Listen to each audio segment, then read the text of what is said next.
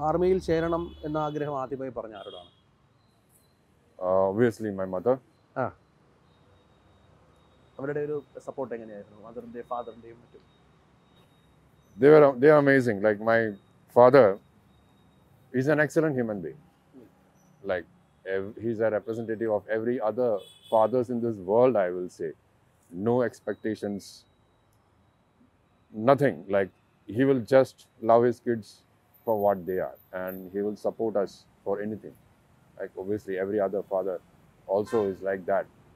അവരൊരിക്കലും പറയാറില്ല ഞാനിത് ചെയ്യാന്നു എന്ന് ചെയ്യുന്നു എന്ന്. അവർ സൈലന്റ്ലി അവർ work ചെയ്തുകൊണ്ടേയിരിക്കും he's exa an excellent example of അമ്മ കുറച്ചും കൂടെ ഇത്തരം കാര്യങ്ങളിൽ പ്രതികരിക്കും. അച്ഛൻ അതിനെ സപ്പോർട്ട് ചെയ്യും മനസ്സിൽ അങ്ങനെയാണല്ലേ? അമ്മയുടെ പേരോട് ചേർത്താണ് പേര് വെച്ചിരിക്കുന്നത് രാജലക്ഷ്മി എന്നുള്ള പേര്. അതുമാണ് ഏറെ പ്രത്യേകതയുള്ള പേരാണ്. അപ്പം ഈ അന്നത്തെ ഒരു ഇൻസിഡന്റിന്റെ തൊട്ട് മുൻപ് രണ്ടായിരത്തി പതിനേഴിലെ സംഭവമാണ് ഞാൻ പറയുന്നത്. തൊട്ട് മുൻപ് അമ്മയെ ഫോൺ ചെയ്തിരുന്നു എന്ന് കേട്ടിട്ടുണ്ട്. അപ്പം അമ്മയെ ഫോൺ സംസാരിച്ചിരുന്നല്ലോ തൊട്ട് മുമ്പായിരുന്നോ? അപ്പോൾ അപ്പം എന്താ അമ്മയോട് പറഞ്ഞത്?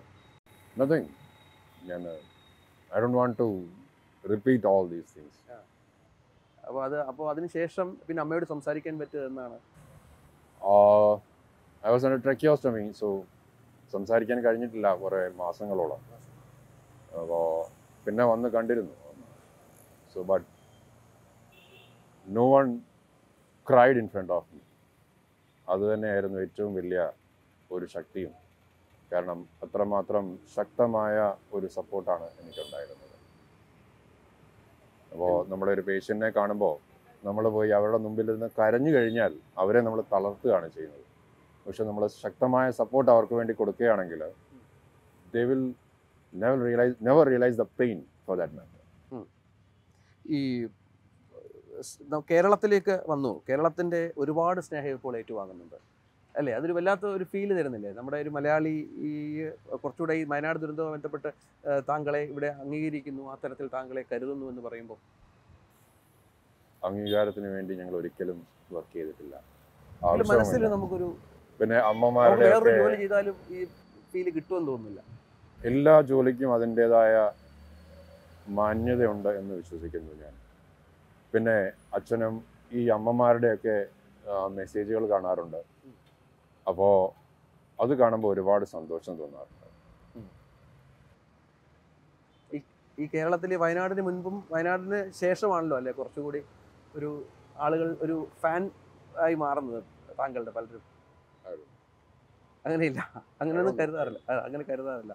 ശരി ശരി. അപ്പോൾ മറ്റു കാര്യങ്ങളിലേക്ക് കടന്നു കഴിഞ്ഞാൽ നമുക്കിനിയും ഈ ഒരുപാട് ആളുകൾ ഒരുപാട് യുവതലമുറ ഒരുപാട് പേർ ഇപ്പോൾ നേരത്തേതിനേക്കാളും കുറച്ചുകൂടി ആർമിയിലേക്കും നമ്മുടെ വരാൻ ആഗ്രഹിക്കുന്നുള്ളതായിട്ട് കരുതുന്നുണ്ടോ? ഇപ്പോൾ എന്താ ഒരു മാറ്റം ഫീൽ ചെയ്യുന്നത്?